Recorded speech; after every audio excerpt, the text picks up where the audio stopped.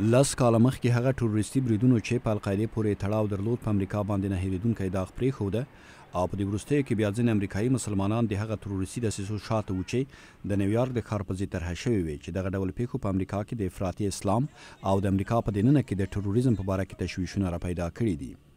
مسلمان امریکایان وایي چې د دغه ډول اصطلاحاتو کارول نه یوازې هغه افرادو ته چې کېدای شي د امریکا امنیت ته تهدید وي دي بلکې ټول امریکايي مسلمانان په نښه کوي. د دغه کشمکشونو په ترڅ کې په سلګونو تنه په کانګرس کې دغه استماعیه غونډې ته ورغلي وو. خلک به څنګه احساس وکړي که چیرې په یهودیت او یا عیسویت باندې مقدمه وچلیږي؟ د امریکا د کورني امنیت د کمیټې مشر د دغه استماعیه غونډې څخه مخکې خپلو منتقدینو ته خبرې وکړې او ویې ویل.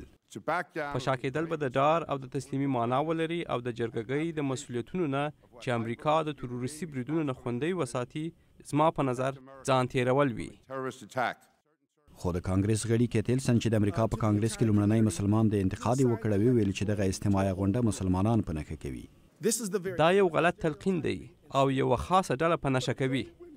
کله چې ایلسن د هغه مسلمان نقل وکړ چې د سپټمبر د یوولسمې نېټې د بریدونو د قربانیانو سره د مرستې په خاطر یې خپل ژوند له لاسه کړی دی نو ویې ژړل.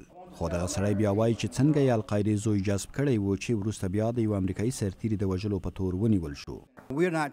موږ د ټولو مسلمانانو په هکله خبرې نه کوو، موږ د هغه چا په اړه خبرې کوو چې د منځلارو مسلمانانو شا ته یې ځانونه پټ کړي دي، دوی هغه کسان دي چې امریکا ته او زموږ ماشومانو ته تهدید دي. دغې استماعیه غونډې همداراز د کانګرس د غړو ترمنځ هم احساسات راوپارول چې ځینو یې دغه استماعیه غونډه په نژادي تبعیض او تعصب تورنه کړه.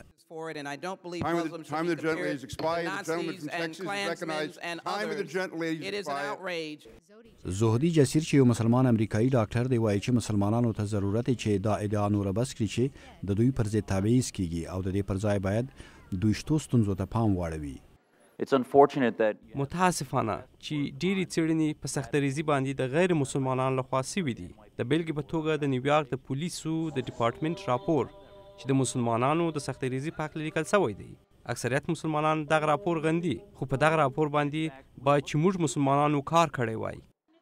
یوه نوې ډله چې د یهودانو، مسلمانانو او عیسویانو مشران پکې شامل دي وايي چې دوی به په کانګرس کې دغه ډول اقدامات سره جلا نه کړي او دوی ژمنه وکړه چې خپل غږ به اوچتوي. هر وخت چې یوه مذهبي ډله په نښه شي، موږ به هلته یو او اوږه په اوږه به ورسره ودرېږو. هوکې، هر کله، هر کله چې ضرورت وي. دغه استماعیه غونډې د امریکا په متحده ایالاتو کې د هغو اسلامي ټروریستانو په هکله وې چې په امریکا کې زیږیدلي دي، د دې نه پرته چې د ټولنې په کومې بلې برخې باندې پړه واچوي او داسې نه معلومیږي چې دغه بحث به ژر ختم شي.